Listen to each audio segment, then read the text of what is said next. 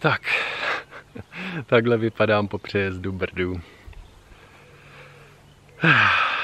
Takže teďka za Vojtou, sedláčkem z bezobaly.cz. A ah, už ani nevím, co říct. Vojta vytvořil novou mapu bezobalových obchodů, která propojuje obchody, distributory schopné do bezobolů dodávat a veřejnost.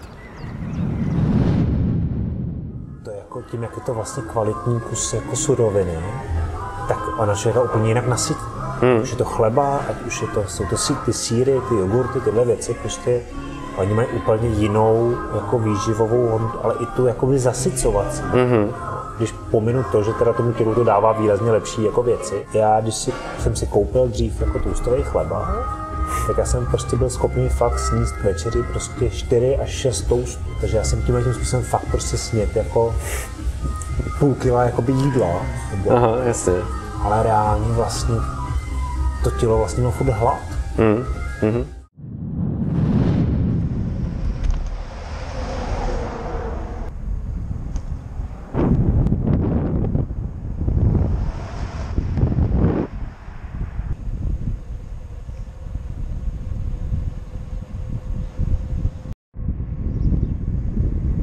Sjíždím ke kamíku nad Vltavou, abych si to zase mohl dvě hodiny vyjíždět.